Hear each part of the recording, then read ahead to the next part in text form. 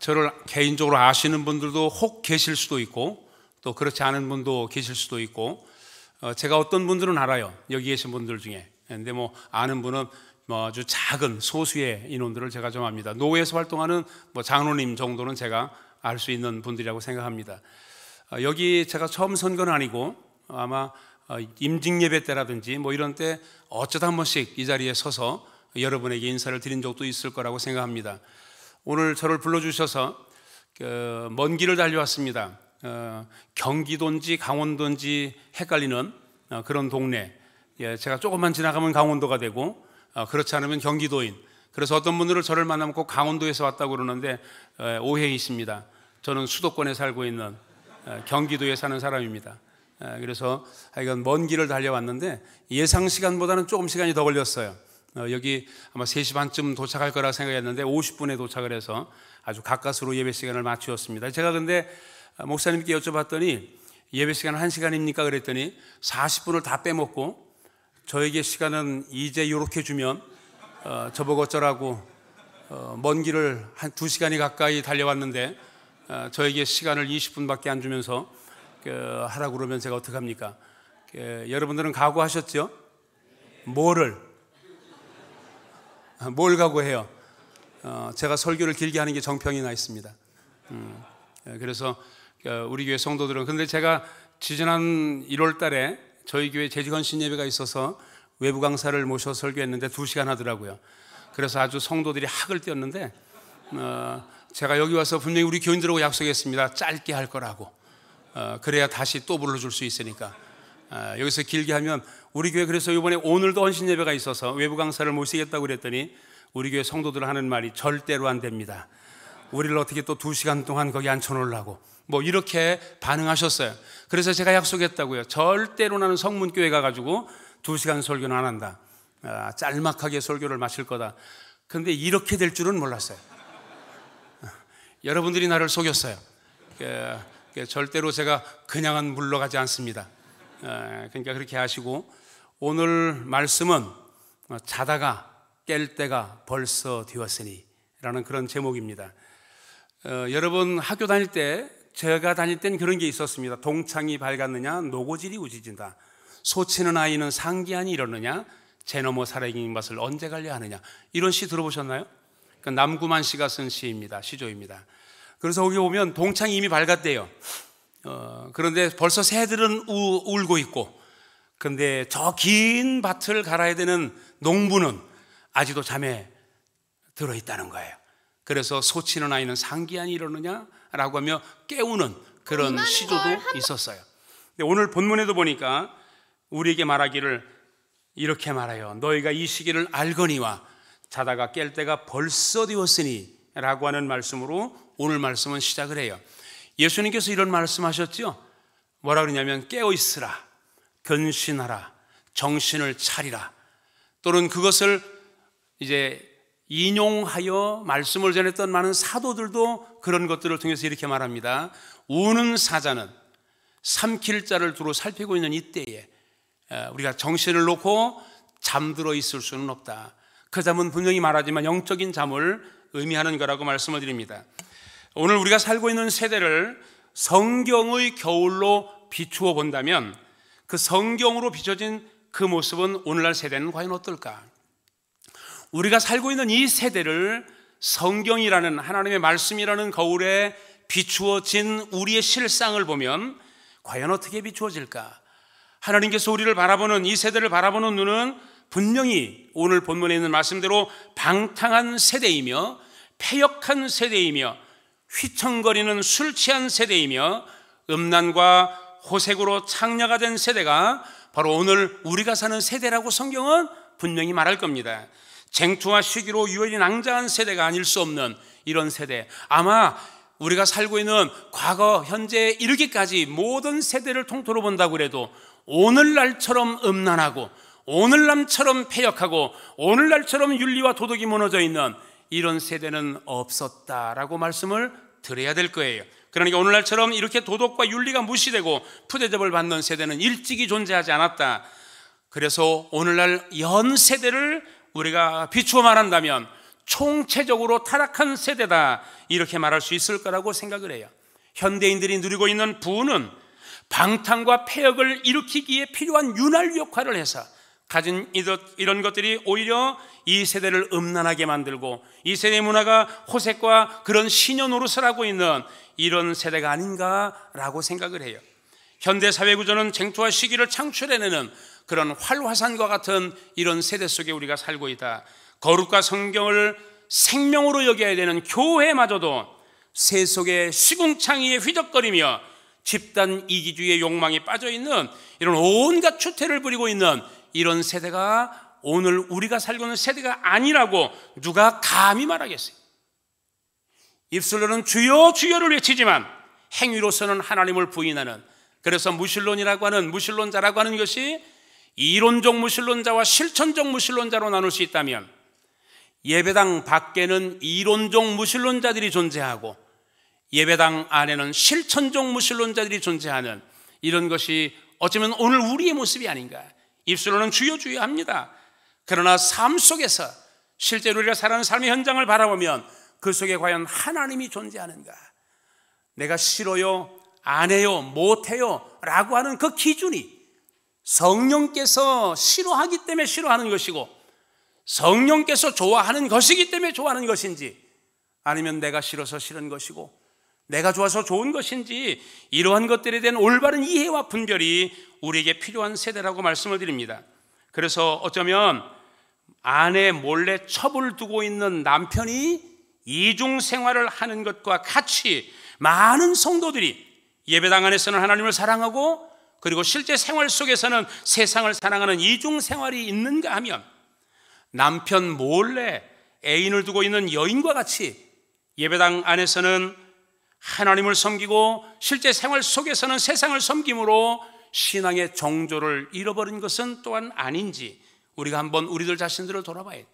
예수님 당시에도 이런 일들이 얼마나 파다했으면 바리새인과 사두개인을 향하여서 회칠한 무덤이라고 말씀해 주었는가를 생각해 봐요. 회칠한 무덤 그게 무슨 의미인지는 다 아시는 거잖아요. 우리의 장례 문화와 달라서 유대인들의 장례 문화는 돌로 구멍을 파고 그 안에다가 가족 묘시를 쓰기 때문에 문을 열었다 닫았다 해야 된단 말이에요. 그래서 밀봉이 되어 있지 않기 때문에 그 더운 날씨 속에 그곳을 지나가면 시체가 썩는 냄새로 진동을 해요. 그러니까 거기 아주 혐오스러운 것이 되어지니까 멀리서라도 보기 좋게 하려고 회칠을 하는 거예요. 하얗게 칠을 해요. 근데 그 속은 뭐가 있느냐? 시체가 있고 뼈들이 있고 썩은 냄새가 나는 이런 것이 바로 회칠한 무덤이라면 예수님의 눈에 비추어진 바리새인과 사두개인들은 겉으로는 그럴듯한 모양을 갖추었지만 그 안에는 온갖 탐욕으로 가득 채워진 모습이 회칠한 무덤과 같다라고 주님은 말씀했던 것을 우리는 잊을 수가 없어요. 그러면서 동시에 말하기를 잔과 대접에 겉은 깨끗하되 그 안에는 탐욕과 방탕으로 가득한 바리새인들이라고 주님은 엄히 꾸짖었던 것을 생각해 봐요. 오늘날 우리 한국 교회가 외면으로는 화려한 그런 외모를 가지고 있지만 그 개교의 이기주의적인 탐욕스러운 모습은 과연 주님이 원하시는 참된 교회의 정체성을 실천하며 그 교회로서의 모습을 드러내며 살고 있는가라고 하는 물음 앞에 누가 자유로울 것이? 과연 누가 어떤 사람들이 우리는 그렇지 않아요라고 말할 수 있는 사람이 어디 있겠는가? 이렇게 탐욕과 음란과 위선과 위기주의로 뒤범벅이 되어져 있는 우리를 향해 사도 바울은 말합니다. 너희는 이 시기를 안다. 너는 이 시기를 안다. 그래서 어떻게 해야 자다가 깰 때가 되었다 라고 말하고 있어요. 이 시기라는 말은 말세라는 의미가 되어지겠고 세상 끝이라는 말이 되어지겠고 즉 다시 말하면 여기서 말하고 있는 이 시기 말세라는 말은 예수 그리스도의 초림으로부터 시작하여 예수 그리스도 다시 오시는 그 시기까지를 일컬어 이 시기다라고 말씀을 드릴 수가 있다는 거예요. 그리스도의 재림 또 제 그리스도가 초림에서 재림에 이르기까지 이 기간이 바로 말세가 되어지며 동시에 이 기간은 우리를 새롭게 할 수 있는 기회가 되어지는 시간들이기도 해요. 그러므로 주님의 재림 날이 얼마 남지 않은 이때에 우리를 가리켜 말합니다. 이제 잘다가 깰 때가 되었다고. 이제 자다가 깰 때가 되었다고 주님은 말합니다. 주님의 재림의 약속은 반드시 성취될 것입니다. 신자들이 마음 놓고 육의 아니란 게으름을 피울 수 있는 그런 때가 아니라는 것을 우리는 분명히 명심하셔야 합니다. 그래서 세상 향락에 취해 영적 사망의 잠에 빠져 있는 그런 삶이 우리에게 일어나서는 아니 된다는 것이 분명히 성경이 말하고 있는 바울을 통해 우리에게 주고 있는 말씀이 되어지는 것입니다. 그러면 오늘 우리에게 말하기를 자다가 깰 때가 되었다라고 말하는 그 이유가 뭐냐는 거예요. 우리가 자다가 깰 때가 됐다는 그 이유는 어디에 있느냐? 오늘 11절, 12절의 말씀을 보면 이렇게 말합니다. 이제 우리의 구원이 처음 믿을 때보다 가까웠습니다. 밤이 깊고 낮이 가까웠으니 그러므로 우리가 어둠의 일을 벗고 빛의 갑옷을 입자라고 성경은 우리에게 말씀해 주고 있어요. 그러니까 두 가지 이유가 있는데 첫 번째 이유는 자다가 깨야 될 첫 번째 이유는 우리의 구원이 처음 믿을 때보다 가까웠기 때문이라고 성경은 말하고 있어요. 이 말이 무슨 말이냐면 요한복음 5장 24절의 말씀을 보시면 이렇게 말합니다. 내 말을 듣고 나 보내신 이를 믿는 자는 영생을 얻었고 심판에 이르지 아니하나니 사망에서 생명으로 옮겼느니라. 라고 주님은 우리에게 분명히 말씀해 주었어요. 이 말씀 보면 예수를 믿는 사람들은 믿음과 함께 동시에 영생을 이미 얻었다고 말합니다. 사망에서 생명으로 옮겨졌다고 말합니다. 장차 옮겨질 것이다가 아니고 장차 영생을 얻을 것이다가 아니라 이미 영생을 얻었고 사망에서 생명으로 옮겨졌느니라 라고 성경은 우리에게 분명히 말합니다. 그런데요, 솔직히 말하면 우리가 살고 우리의 현실들을 보면 우리가 믿는 사람들이 이미 구원을 받았다고 하지만 그러나 우리의 모습을 보면 구원받지 않은 사람처럼 구원받지 못한 사람처럼 살고 있는 현실입니다. 그래서 우리 이렇게 말합니다. 우리의 구원은 이미 이루어졌지만 아직 완성되지 않은 상태에 있다. 그래서 우리의 구원은 이미와 아직 사이에 존재하는 것이다. 그래서 우리는 이미와 아직 사이에 그런데 우리에게 말합니다. 처음 믿을 때보다 우리의 구원이 가까웠습니다. 라고 우리에게 말해주고 있어요. 이 말의 의미는 예수 그리스도의 오심이 가까웠다는 거예요. 그러면 예수 그리스도의 오심이 가까웠다고 한 지가 2000년 전인데 아직도 이 일이 이루어지지 않았지 않습니까? 라고 우리에게 말하고 싶은 분들이 있을 수도 있어요. 근데요, 예수님이 오시는 것과 똑같은 원리가 하나 있는데 그것은 내가 주님께 가는 거예요. 예수님이 오시는 것이나 내가 주님께 가는 것이나 결과는 똑같은 거예요. 그래서 2000년 역사 속에 수많은 그리스도인들이 주님의 재림을 실제로 이 땅에 오신 최종적 종말론적 재림을 실제로 경험하지는 않았어도 우리의 믿음의 수많은 선진들이 이미 이 땅에서의 삶을 마감함으로써 주님이 이 땅에 오신 것과 똑같은 결과를 얻었어요. 그래서 이미 그들은 구원의 완성에 이미 이르러 있는 상태. 물론 아직 육신의 부활이 이루어지지 않아서 최종적 구원에 이르르지는 않았을지라도 지금 현재의 상태는 우리의 믿음의 선배들이 주님과 함께 있는 낙원에 함께 있는 이런 상태로 구원을 경험하고 구원을 이루고 구원을 누리며 살고 있다는 걸 생각해요. 그래서 우리는 주님이 오시든지 내가 주님께로 가든지 하는 날이 어떻게 되었다? 어제보다 하루만큼 작년보다 1년만큼 우리의 구원은 가까웠다라고 분명히 말해요. 그래서 뭐 해야 되느냐? 그래서 깨어나라는 거예요. 잠에서 깨어나라라고 정신을 차리고 거룩한 삶을 살아라라고 우리에게 말씀해 주고 있어요. 주님의 재림의 날은 점점 단축되어 가고 있습니다. 점점 가까우고 있으며 따라서 우리 성도들이 누릴 영원한 행복의 날이 처음 믿을 때보다 가까웠다라고 성경은 말해주고 있고 우리 그리스도인들의 세상에서 우리의 모든 수고를 벗고 하나님의 무한한 영광과 생명에 참여하는 기쁨과 감격에 찬 찬송을 부르게 되어질 날이 어제보다는 오늘이 하루만큼 가까웠다. 그래서 우리는 뭐 할 거냐? 정신을 차려야 된다. 그래서 우리는 깨어 있어야 된다라고 우리에게 말하고 있어요. 그러니까 우리들과 주님의 재림 사이가 한 발짝 앞으로 다가와 있는 이런 현실 속에서 우리는 어리석게도 죄악의 향락에 빠져서 이 세속의 모든 향락에 도취되어져서 우리가 게으름을 피우고 나태하게 앉아 있을 수 있는 시간이 없다는 거예요. 예수님의 재림의 시간이 단축되어져 가는 만큼 우리는 더 하나님께 가까이, 우리는 더 한 걸음 더 하나님 앞에 나아가는 이런 삶이 우리에게 요구되어지고 있기 때문에 우리는 깨어 있어야 된다라고 성경은 말해주고 있어요. 뿐만 아니라 12절의 말씀 보면 밤이 깊고 낮이 가까웠기 때문에 자다가 깰 때가 되었다고 그래요. 제가 설교 말씀을 시작하면서 동창이 밝았느냐 노고질이 우진다 그랬잖아요. 그 말의 의미가 거기 있는 거죠. 이미 뭐 했다? 밤은 깊고 낮은 가까웠다. 밤이라는 말은 성경에서 말하고 있는 오늘 본문이 말하고 있는 밤은 물리적인 밤은 아닐 거 아니에요. 우리가 매일같이 만나는 그런 밤을 말하고 있는 건 아닐 거 아니에요. 그런데 이 바로 그 밤이 이 세대를 일컬어 우리에게 말해주고 있는 것이다. 그리고 이 세대를 성경은 뭐라고 말하느냐? 악한 세대다. 또 심지어 폐역한 세대다. 음란하고 폐역한 세대라고 성경은 말하고 있는 것을 볼 수 있어요. 여기 낮이란 말은 그러면 우리가 이 밤이 음란하고 폐역한 이 세대를 말한다면 여기서 말하는 낮은 어떤 때를 의미하느냐?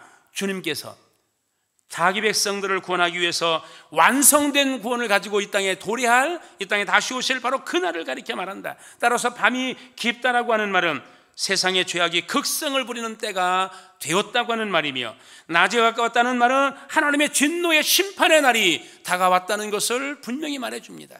오늘 제가 시간 관계상 하나님의 진노의 심판의 날 이런 것들을 말하는 시간은 아니에요. 그럼에도 불구하고 그날이 얼마나 크고 두려운 날인지 그게 얼마나 무서운 날인지에 대한 것들을 여러분이 실감할 수 있는 이야기를 조금 해드린다면 요한계시록 6장에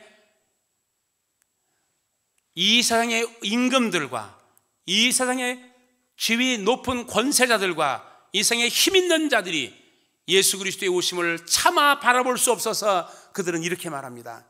산들아 무너져라. 바위야 굴러 떨어져라. 보좌에 앉으신 어미하신 그분을 내가 배울 수 없음이로다.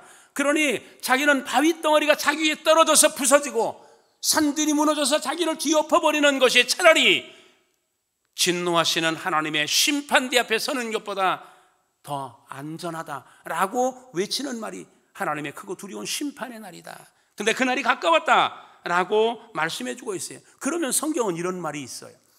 그날이 깊어지면 세상에 밤이 깊어지면 어떤 일이 일어났느냐? 창세기 6장에서는 노아 시대 홍수가 일어났고 밤이 깊어졌을 때 그들의 삶은 죄악으로 관영했고 그들의 생각하는 것만 항상 악할 뿐임을 보신 주님이 그들을 물로 심판하셨을 뿐만 아니라 출애굽기 말씀을 읽으면 애굽에 종살이하고 있던 이스라엘 백성들의 부르짐이 크게 달하고 그들을 괴롭히고 있는 바로의 손길이 크게 달아 있을 때 밤이 깊어졌을 때 하나님께서는 모세를 그들에게 보내셔서 구출해 내시는 이런 것들 뿐만 아니라 말라기 이후에 400년 동안 복음이 끊어지고 말씀이 끊어지고 있던 이 시대를 향하여서 때가 참에 당신의 아들 예수 그리스도를 이 땅에 보내셨던 그 하나님이 세상의 종말에 이 땅에 죄악이 가득한 밤이 깊어지는 그런 시대에 예수 그리스도를 다시 보내셔서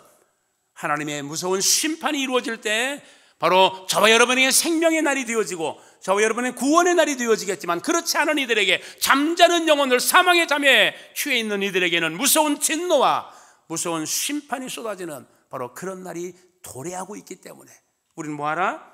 깨어라 일어나라 주님이 재림하기 직전에 오늘날 이 세상을 향하여서 죄악의 개념이 깊어졌으니까 머지않아 주님이 다시 오실 것이기 때문에 오늘날의 모든 성도들을 향하여 일어나라. 깨어나라. 정신을 차리라. 근신하라. 라고 성경은 우리에게 말씀합니다. 그러므로 이 시대의 죄악상을 바라보고 있는 모든 성도들이 지금 우리가 기도할 때 지금 우리가 이 나라와 이 민족을 이 젊은이들을 이 다음 세대들을 향하여서 우리는 깨어 기도해야 될 그러한 시대에 이르렀다고 하는 이런 의식에 사로잡히는 우리 모두가 되어지기를 바랍니다. 그렇다면 깨어 있으라는 말은 도대체 무슨 말이냐? 깨어 있다는 것은 도대체 어떤 상태를 의미하느냐라고 하는 말씀이 12절 이하에 이제 계속 이어 나오게 되어지는데 이렇게 말합니다. 첫째는 어둠의 일을 벗어 버리는 것이다. 어둠의 일을 벗어버리 우리가 읽은 말씀 12절 이후에 보면 어둠의 일을 벗고라고 되어 있고 그 다음번에 나오는 것은 빛의 갑옷을 입고 그리고 그 다음에 나오는 말씀은 나제와 같이 단정하고 방탕하나 술 취하지 말고 음란하지 말고 호색하지 말며 다투거나 시기하지 말고 라고 되어 있고 그리고 마지막 14절에는 오직 주 예수 그리스도로 옷 입고라고 하는 말을 해요. 그래서 세 가지를 말씀드린다면 깨어 있는 상태는 이런 것이다. 어떤 것이냐? 어둠의 일을 벗는 것이다. 어둠의 일을 벗는 거다. 그러면 어둠의 일을 오늘 본문은 우리에게 뭐라고 말했느냐? 성경에 어둠의 일이라는 게 여기만 있는 건 아니에요. 성경에 수없이 많은 어둠의 일들이 있어요. 근데 제가 오늘 드릴 말씀은 본문이 로마서 11장에 13장에 있는 말씀 11절로 14절이 본문이기 때문에 오늘 본문을 중심으로 해서 어둠의 일을 이야기하면 첫째는 이렇게 돼 있대요. 방탕과 술 취하지 않는 것이다. 어, 우리가 깨어 있는 상태, 그 상태는 어둠의 일을 벗어야 되는데 그 어둠의 일을 벗어낸다는 말은 이렇게 되어 있어요. 뭐라고요? 다 같이 방탕과 술 취하지 않는 것이다. 방탕과 술 취하지 않는 것이다. 어, 술 얘기해서 혹시 뜨끔하시는 분들, 야 목사님 술 먹지 말한다. 라고 해서 혹시 뜨끔하시는 분들, 저는 이렇게 말합니다. 술 잡순다고 지옥 가지 않는다. 안심이죠, 갑자기 또? 마음이 편안해졌죠? 어, 저는 그런 사람이에요. 어, 술 잡순다고 절대로 지옥 가지 않는다. 누가 지옥 가느냐면 술 먹었다고 비난하는 자가 지옥 간다. 야, 신나죠? 어, 제가 그렇게 해요. 어, 도평교에서. 그래서 도평교회 성도들은 그렇게 알고 있어요. 그래서 목사님도 술 먹습니까? 그러면 안 먹는다. 어, 왜안 먹느냐? 이유가 있지요. 덕이 안 된다. 하나님께 영광이 되지 않는다. 인생의 제일 되는 목적이 다 아시는 것처럼 나올 줄 알았는데 다 아시는 것처럼 하나님을 영화롭게 하고 평생토록 그를 즐거워하는 것. 이게 우리가 존재할 이유잖아요. 하나님을 영화롭게 하고 평생토록 그를 즐거워하는 것. 이게 우리가 존재할 이유예요. 그런데 제가 술을 먹고 길거리에 얼굴이 벌게 가지고 어, 이렇게 어, 기우뚱 기우뚱 걸어 다니면 비틀비틀 걸어 다니면 도평리 사는 분들이 다 알아요. 야, 나 목사 술 먹은 거 봤다. 그러고 다닐 거예요. 그러면 그게 결단코 하나님께 영광이 안 돼. 교회에 유익이 안 돼. 사람들에게 덕을 끼칠 수가 없어. 그래서 안 먹어요. 못 먹어서 안 먹는 게 아니에요. 우리 아버지는 술을 잘 잡섰어요. 우리 형들도 들고는 못 가도 배다 넣고 다녔어요. 어, 그러니까 술을 아주 집안 내력이 술을 잘 먹는 집안이에요. 근데 저는 여지껏 술을 먹지는 않아요.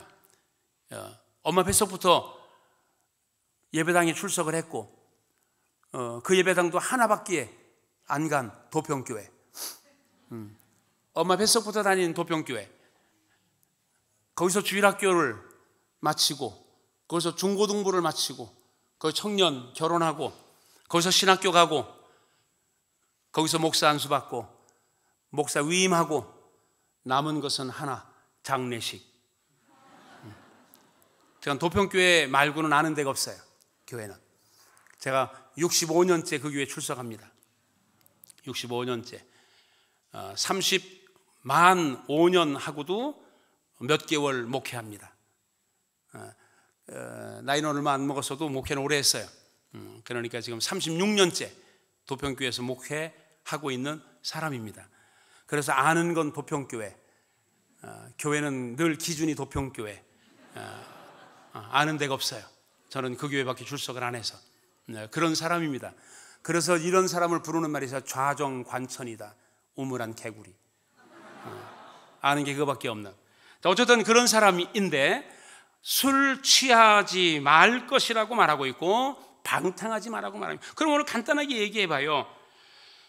오늘 방탕이라고 하는 말이 무슨 말일까? 이 단어가 뭘 말할까? 뭐가 방탕일까? 성경은 그 방탕이란 용어를 이야기할 때 먹고 마시는 일과 몸의 쾌락을 위하여 필요 이상의 것들을 가지거나 지출하는 것. 이걸 방탕이라고 한다. 라고 말해요. 다시 말하면 쉽게 얘기하면 과소비. 그리고 무절제. 방탕은 술 취해가지고 막 거리를 헤매고 다니고 청소년 시기에 부모 말 안 듣고 맨날 가출이나 하고 이런 게 방탕인 줄 우리가 생각하면 큰 오산이에요. 오늘 여기서 말하고 있는 이 방탕이라고 하는 단어는 온갖 종류의 과소비 풍조에 물들어서 생활해 가고 있는 모든 것, 필요 이상의 것들을 가지려고 하고 그래서 안 해도 되는 어떤 것들을 내가 소유하기 위하여 더 많은 지출을 일삼는 이와 같은 일들은 모두 다 성경은 말합니다. 방탕이라고. 그건 방탕이라고. 무절제함이라고. 그러니까 온갖 과소비의 풍조는 분명히 말합니다. 방탕이라고. 술주정뱅이만 방탕한 게 아니라니까요. 주변을 뛰쳐나가 유흥가의 사창가를 헤매고 다니는 그런 청소년들만 방탕한 것이 아니라 점잖은 모습을 하고 정상적인 생활을 하고 있는 사람들 중에도 과소비하고 무절제하게 생활하는 사람이 있다면 그 사람을 성경은 일컬어 방탕한 사람이다 라고 말할 겁니다. 에베소 4장 22절로 24절의 말씀 보면 옛사람의 구습을 버리라고 되어 있습니다. 여러분이 아직도 버리지 못한 옛사람의 습관들이 무엇인지를 살펴보시고 옛사람의 구습들은 성령으로 거듭난 새 사람에게 어울리지 않는 것이라는 것을 분명히 알아야 됩니다. 나는 지금 벗어버려야 할 구습들이 없는지를 살펴보셔야 합니다. 우리가 많은 부분 잘못된, 우리가 바르지 못한 신앙 생활 중에 하나가 뭐냐면 뒤에 나오는 그리스도로 옷 입는 건 맞아요. 틀림없이. 근데 전제 조건이 있어요. 벗고 입어야 돼요. 분명히 말합니다. 옛 사람의 것들을 뭐하고 벗고 입으셔야 돼요. 그 위에다가 덧입고 껴입으면 안 돼요. 껴입어 놓으니까 펄럭일 때마다 속에 거 나와.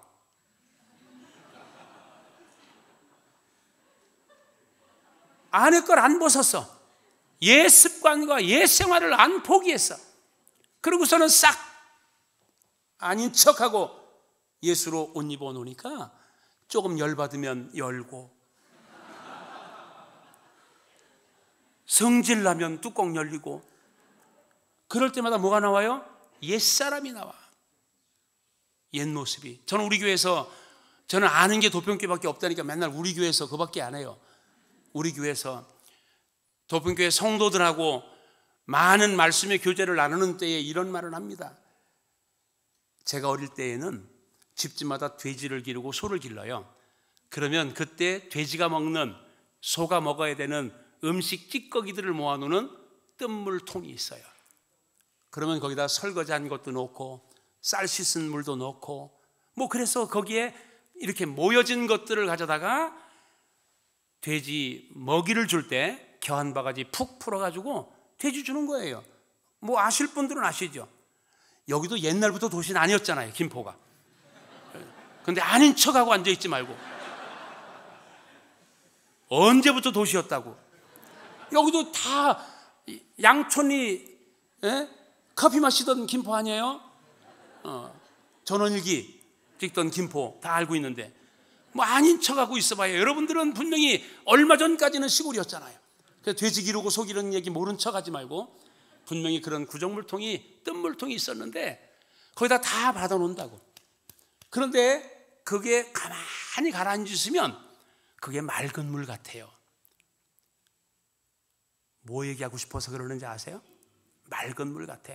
그런데 가끔 작대기를 하나 집어넣어가지고 휘 젖으면 고춧가루가 올라와. 콩나물 대가리도 올라와. 띵띵 뿌는 밥풀도 올라와. 그게 구정물통의 특징이에요. 여러분들이 가만히 있을 때는 성도 같아. 아주 점잖은 그리스도인이야. 얼마나 멋진지 몰라. 근데 누가 옆에서 쿡 찌르면, 옆에서 여러분을 화나게 만들면, 여러분의 성질을 돋구면 속에서 꾸정물이 올라오는데 그렇게 말해. 난 건드리지만 않으면 착한 사람이야. 안 착한 사람이에요. 꾸정물통이었어요. 그리고 동시에 집안에는 우물들이 다 집집에 있는 게 아니고 동네 물에서 물을 길어다 먹는 물통이 있어요. 물 항아리가. 그런 물찌개로 떠다가 물을 채워놔요. 근데 거기는 아무리 작대기 아니라 도깨비 방망이로 휘둘러도 고춧가루는 안 올라와요. 왜요? 맑은 물이거든요. 그러니까 쑤신 게 잘못이 아니라 구정물통이 잘못이에요. 여러분 벗으셨어야 돼요. 여러분은 옛사람을 구습을 쫓는 옛사람을 벗으셨어야 돼요. 그리고 예수로 옷 입었어야 돼요. 근데 여러분이 벗지를 않은 거야. 그 위에다가 한 가지씩 한 가지 덧입혀 놨을 뿐이에요. 오늘 벗으세요. 구습을 쫓는 구습을 따르는 구정물통을 비우시고 거기에 맑은 물로 채우면 아무리 휘저어도 아무리 쑤셔대도 거기 떠오를 찌꺼기는 없어요. 고춧가루 절대로 안 떠요. 여러분이 고춧가루가 떴다는 것은 여러분 스스로가 구정물통임을 증명한 거예요. 증거해 준 분을 고마워하세요. 그래야 실체를 아니까. 누가 나를 쑤셔 준 것에 대해서 감사하세요. 내가 그래야 뚜껑이 열릴 때 더러운 게 올라오는 줄 아니까. 평생을 안 건드려 두면 그는 자기도 모르고 세상을 살아요. 착한 줄 알고. 자기가 잘 예수 믿는 사람인 줄 알고 그게 회칠한 무덤 아니면 뭐예요? 주님이 그런 이들을 말한 거예요. 오늘 어쩌면 우리일 수도 있어요. 다른 사람 얘기 아니에요. 오늘 저와 여러분의 삶 속에 그런 꾸정물통을 비우시는 작업이 필요하다. 그래서 벗으라는 거예요. 구습을 쫓는 옛사람을 어둠의 일을 벗어버리라고 우리에게 말해주고 있다는 거예요. 술 얘기는 안 해도 되겠죠. 성경은 말하기를 이렇게 적극적으로 말한 구절이 있으면 술은 보지도 마라. 성경은 술은 보지도 마라 있어요. 그리고 늘 가난한 사람 어디에 있냐? 술 취한 사람 집에 있다. 그리 돼 있어요. 늘 싸우는 사람, 늘 상처 입은 사람 어디 술 취한 사람에게 있다. 자문이 우리에게 분명히 말해주고 있어요. 그래서 술 먹는 것 자체가 죄는 아니에요. 그러나 그 술이 가져다 준 결과가 우리를 나쁘게 만들 때가 더 많아요. 술을 취해 있는 사람들이 하나님께 온전하게 헌신하는 것 제가 잘 못 봤어요. 늘 술에 취해 있는 사람이 하나님을 신실하게 섬긴다고 하는 것을 제가 그렇게 쉽게 보지는 못해요. 그러니까 어쩌든 술 취하지 마라 라고 하는 말을 말씀 그대로 받으세요. 혹시 몰래 숨어서 한 잔씩 홀짝 홀짝 하시는 분들이 있다면 이번 기회에 죄가 뭐냐면요.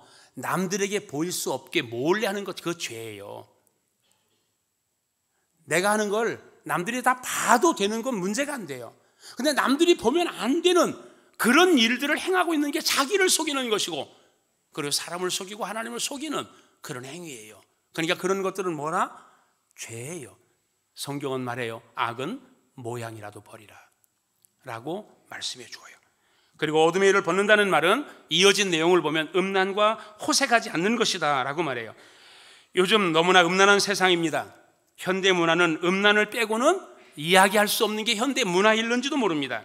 요즘 눈을 뜨고 다니기가 민망스러운 그런 음풍스러운 분위기가 우리 사회를 가득 덮고 있습니다. TV를 틀면 소설과 잡지와 광고와 노래와 영화, 스포츠, 의상 이 모든 것들 속에는 음란으로 뒤덮여 있는 이런 세대 속에 우리가 살고 있는 것이 현실입니다. 이런 것들과 접하는 가운데에 우리들 마음 속에는 수없이 간음죄를 저지르고 그래서 마태복음 5장에서 여인을 보고 음, 의욕을 품는 자가 이미 간음했다고 말한다면 우리는 수없이 간음하며 살아가는 이런 존재일 수밖에 없는 우리들이라는 것을 우리는 생각해요. 그래서 마음으로 본 간음죄가 행동으로 옮겨지는 것은 시간 문제라는 것을 분명히 인식을 하고 우리가 우리는 어떻게 하냐?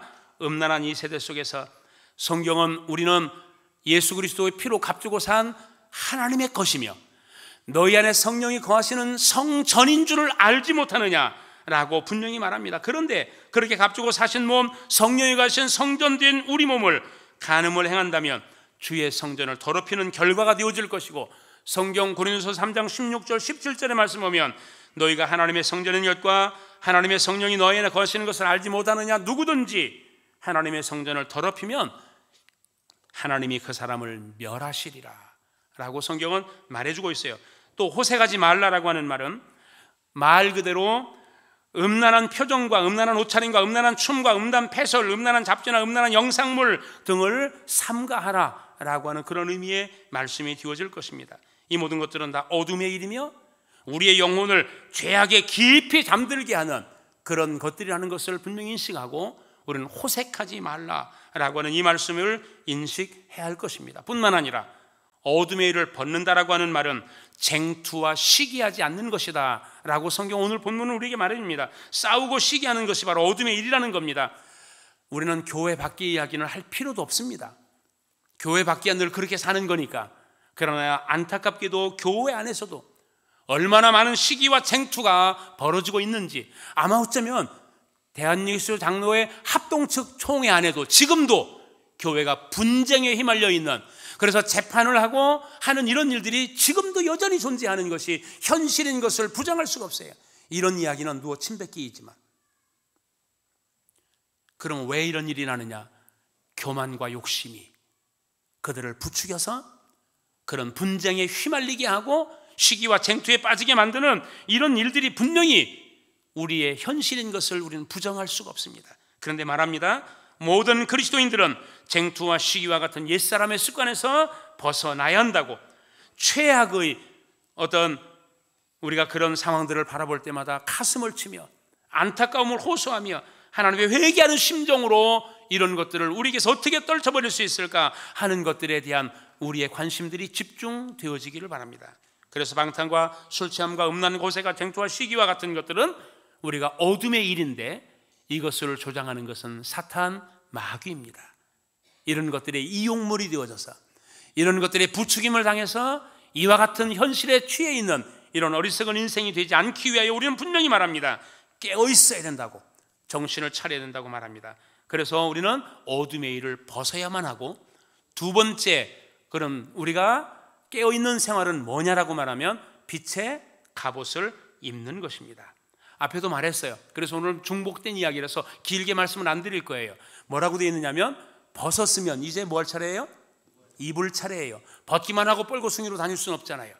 어, 벗었으면 어둠의 일들을 벗은 이후에 우리는 뭐 해야 되느냐? 입으셔야만 합니다. 성경에 이런 말씀이 있어요.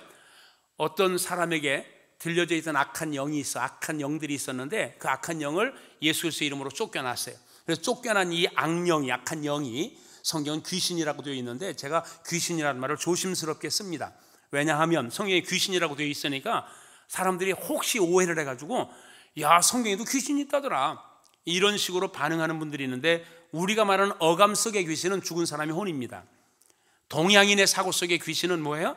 죽은 사람의 혼이잖아요. 그 귀신 아니에요? 우리들의 동양인들의 의식은 그래요. 성경이 말하는 귀신도 그거였어요? 아닌 건 알죠? 그래서 제가 그걸 조심스럽게 쓴다고 말해요. 그건 뭐예요? 악한 영이에요. 악한 영에 사로잡혀 있는 거예요. 근데 쫓겨났어요. 그 악한 영이 그래서 물 없는 곳으로 달립니다. 그러다가 생각했어. 야, 내가 쫓겨난 그 집은 어떻게 되어 있을까? 그 쫓겨난, 내가 쫓겨난 그 집에 한번 가보자. 해서 와봤더니 깨끗이 청소는 되어 있는데 주인은 없대는 거예요. 그래서 물 없는 곳으로 다니던 이 약한 영이 거기서 만난 친구들을 데리고 자기가 쫓겨났던 원집으로 돌아와서 이제 생활하게 되니까 상태가 이전보다 더 악하게 되었더라. 이렇게 되어 있어요. 그게 뭘 말하는 걸까? 우리가 예수를 믿는다라고 하는 말은 옛 생활들을 구습을 쫓는 생활을 벗는 것에서만 멈추면 안 되고 반드시 새로운 주인 예수 그리스도 성령이 우리 가운데 와야 되는 것이 맞아요. 그걸 오늘 본문은 뭐라고 그러냐? 빛의 갑옷을 입어야 된다고 하는 말로 우리에게 말씀해 주고 있는 것을 보아요. 어둠의 일을 벗었으면 즉 다시 말하면 이제 원수들은 우리 안에 우리를 장하고 지배하고 존재하고 있다가 이제 우리가 쫓겨났다고 생각할 때, 그 쫓겨날 때 거저 쫓겨나지 않을 거 아니에요? 전쟁을 일으켜도 이렇게 어렵게 쫓겨날 거 아니에요? 그래서 우리 그리스도인들은 이런 악한 세력들과 싸우고 승리하기 위해서 반드시 성경 에베소 6장에 있는 말씀처럼 전신갑주를 입어야 된다고 말해요. 어떻게 해서든지 우리를 넘어뜨리고자 하는 사단의 세력을 이기려면 전신갑주를 입어야 되는데 그 하나님의 전신갑주를 오늘 본문은 뭐라고 했느냐? 빛의 갑옷이다라고 말했다는 거예요. 마귀는 에덴 동산에서 아담과 하와를 공격하여 쓰러뜨린 이후에 이 땅에 존재하는 역사 속에 끊임없는 믿음의 용장들과 계속해서 전투를 벌여왔던 백전노장이에요. 아마 어쩌면 성경에 있는 모든 인물들이 사탄의 이런 도전 앞에 완벽하게 승리했다고 말할 수 있는 사람은 없어요. 여러분이 알고 있는 아브라함 또는 다윗 이런 인물들은 완벽했다고요? 천만에요. 그들도 그들의 마귀의 전술에 넘어져서 다윗에게는 씻을 수 없는 우리야 아내의 사건이 일어났는가 하면 아브라함 같은 경우에는 뭐 그걸 다 일일이 말할 수 없지만 여러 차례 하나님 앞에 믿음을 고백하지 못하고 이스마일을 아니면 엘리에셀을 상속자로 후손자로 세우려고 했던 이런 것들이 끊임없이 시도됐던 인물이 아브라함이에요. 그러니까 이런 이런 방법들 이게 다 뭐가 그렇게 했느냐라고 말하면 원수 마귀가 아담을 이긴 이후에 믿음의 수많은 용장들에게 수없이 전투를 벌여서 승리를 이끌었던 백전노장이 바로 원수 마귀라는 걸 아셔야 돼요. 그러니 그런 용장, 백전노장의 용사가 저와 여러분을 공격할 때 저와 여러분이 무슨 재주로 그걸 이기겠어요? 그래서 우리가 필요한 게 뭐다? 예수로 옷 입는 거다. 빛의 갑옷을 입는 것이다. 백전노장과 싸워 이기려면 우리는 분명히 예수 그리스도로 옷 입지 아니하고서는 그 싸움을 승리로 이끌어낼 수 없다는 것을 알아야 돼요. 그래서 복음의 진리로 무장하고 깨어 기도함으로 무장하고 말씀에 순종함으로 무장하는 이런 일들이 우리에게 일어나지 않는다면 우리는 그 원수 마귀와 이길 수 없다는 거예요. 그래서 예수 그리스도의 이름으로 대적하여 물리칠 수 있는 이런 성도가 되기 위해서 우리는 뭐 해야 된다? 그리스도로 옷 입는 그래서 빛의 갑옷을 입는 깨어 있는 이런 성도의 삶이 우리에게 요구된다는 것을 분명히 인식할 수 있게 되어지기를 바랍니다. 그리고 이제 하나 더 말씀을 드리면 낮에와 같이 단정히 행하는 것이 자다가 깨는 것이라고 말합니다. 이제 말씀 거의 다 끝났습니다. 제가 정신없이 부지런히 달려오는데 하여간 제가 저에게도 약속된 시간이 있어서 그래요. 어, 잠시 후에 있을 일이. 그래서 뭐 정신없이 달려오는데 이제 말씀은 정리할 때가 되었어요. 낮에와 같이 단정히 행하는 것이 자다가 깨는 것이다 라고 말합니다. 우리는 언제나 하나님 앞에 살고 있음을 명심하셔야 됩니다. 어, 저는 군대 생활을 방위병으로 한 사람이에요. 그게 뭐가 그게 뭔데요? 하고 혹시 모르는 분이 있는데 옛날에 방위는 신의 아들이라고 그랬거든요. 어, 군대 안 가고 어, 그러니까 방위병으로 군복무를 마쳤어요. 어, 그런 그랬는데 어쨌든 간에 방위병으로 군 복무를 마쳤는데 어, 그군 복무 방위병으로 군 복무를 하던 이런 시대에 주로 뭔 일했느냐 예비군 중대에서 예비군 훈련을 담당하는 그런 방위병이었어요. 그래서 동네 형들이 예비군 훈련을 받으러 다 나옵니다. 그래 제가 다 아는 분들이에요. 형 친구이기도 하고 멀쩡한 신사이기도 하고 또 뿐만 아니라 하여간 어디 가면 아, 집에 가장이기도 하고 사업체의 사장이기도 하고 별별 그런 사람들이에요. 그런데요 웃기는 게 있어요. 예비군 복만 입혀 놓으면 예비군 복만 입혀 놓으면 애기가 돼요. 아주 애들이 돼요. 그래서 뭐 하느냐? 앉혀놓으면 앞에 있는 사람에 돌 던져서 머리통 맞히기. 아무 데 가서나 나가 다 빠져 잠자기. 또 뿐만 아니라 아무 데서나 소변 보기. 아, 이게요, 그냥 뭐 아무렇지도 않아요. 뭐가 그렇게 만든지 알아요? 옷이 그렇게 만들었어요. 그 사람이 양복을 잘 차려 입었더라면 그런 일을 했을까요? 안 했을까요? 안 했을 거예요. 근데 예비군복을 입혀놨더니 그런 행동을 하는데 전혀 주저함이 없어요. 그게 바로 의복이었어요. 여러분, 그리스도인은 낮에와 같이 단정히 행하라. 밤에야 잠옷을 입고 속옷바람에 어떤 일을 하더라도 별 문제가 안 되는데 낮이 밝았는데도 그러고 다니는 사람이 있다면 제정신이 아닌 사람이에요. 오늘 성도 여러분, 여러분이 깨어 있기를 원한다면 단정하셔야 됩니다.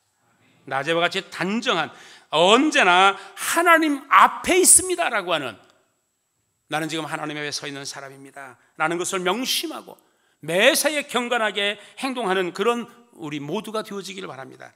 하나님의 불꽃 같은 시선이 24시간 여러분을 주목하고 있다는 사실을 명심하셔야 됩니다. 빛의 자녀들처럼 하나님을 하기 위해 선한 일을 힘쓰는 그런 모든 성도가 되어지기를 바랍니다. 오늘 안수 집사님들 회의에서 헌신 예배를 주관하고 있습니다만 오늘 제가 드리는 말씀은 안수 집사님들만을 위한 말씀은 아닙니다. 모든 성도들, 이 시대를 살고 있는 모든 그리스도인들이 함께 나누어야 될 그런 말씀입니다. 모든 환경, 모든 여건, 내가 진 모든 상황이 다 하나님의 영광을 위한 도구가 되어질 수 있는 이런 수단으로 삼아 이 땅을 살아가는 모두가 되어지길 바랍니다. 주님의 날은 죄님의 날은 다가옵니다. 어제보다는 하루만큼 다가왔습니다. 어제보다는 1년만큼 다가왔습니다. 우리가 주님 앞에 서게 될 그날이 멀지 않았다는 것을 늘 명심하고 그러므로 지금 저와 여러분은 이제 자다가 깨어나셔야만 합니다. 그래서 자다가 깬다라고 하는 정신을 차리고 우리가 예수 그리스도를 알기 전에 가지고 살던 모든 삶들은 이제 다 청산하고 다 벗어버리고 숨겨두지 말고 언제 쓸지 모르니까 감춰두지 말고 내가 성질이 필요한 날이 있을지 모르니까 성질 좀 감춰두자. 그러지 말고 왜, 왜 이런 얘기 하느냐면 아 그게 실제 있다니까요. 그게 없는 게 아니라니까요. 제가 2급 기능사 자격증이라는 게 있었어요. 어, 뭐 하냐면 선반이라고 하는 쇠를 깎는 그런 기능사 2급 자격증이 있었어요. 근데 그걸 가지고 제가 신학을 했고 이제 목회를 하고 있어요. 근데 때가 되면 이렇게 날라와요. 자격증을 갱신해라. 그러고 와요. 그래서 제가 한 번은 갱신했습니다.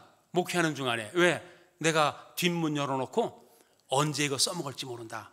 그러니까 이거 딱 갈아놨다가 자격증을 유지하자라고 한 번을 갱신했습니다. 근데 오늘 생각해 봤어요. 내가 이거 쓸 일이 없지 않아? 내가 평생을 목사로 목회할 사람인데 이거 쓸 일이 없지 않아? 그래서 버렸습니다. 근데 버릴 때 마음이 묘하더라고요. 이 자격증을 따느라고 내가 많이 수고했는데 고생했는데 이걸 포기한다는 게 그냥 한쪽에서는 포기해야 된다고 하고 한쪽에는 그거 가지고 있으면 이제 써먹을지 모른다고 하는 생각이 두 가지가 있지 않아요?